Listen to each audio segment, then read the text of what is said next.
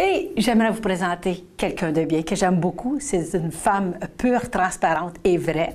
Et euh, elle a du talent et elle a investi beaucoup dans ses CD. Et j'aimerais qu'on l'accueille, Madame Claudette Plante. Salut Claudette. Bonjour, ma belle Diane. Comment ça va? Ça va super bien. On travaille fort, hein? Travaille très fort, travaille très fort, mais ça rapporte. Ça porte fruit, là, ça commence à porter fruit. Ça, ah ouais, ça, sort, ça sort un peu du, du, du placard, parce que souvent, Ouais. on, tu sais, on se La porte, la porte est ouverte, disons. D'abord, j'aimerais ça te dire merci beaucoup d'avoir accepté l'invitation.